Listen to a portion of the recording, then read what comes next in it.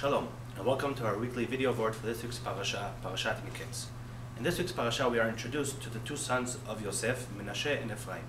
The Torah explains to us the names that were chosen.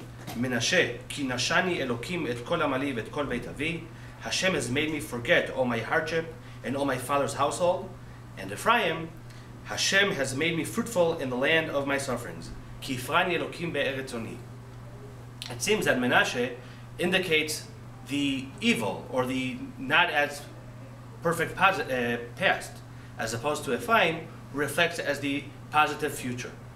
And we learned that also from David HaMelech in the Pasuk in Tehillim, Sur Mera Va'aseh Tov.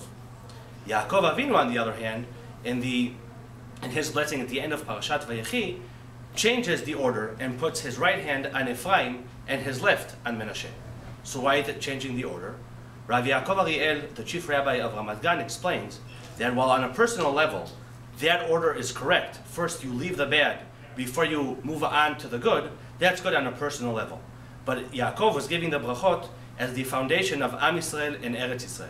And for that, the good has to come first. That is the way to build a nation. Shabbat Shalom.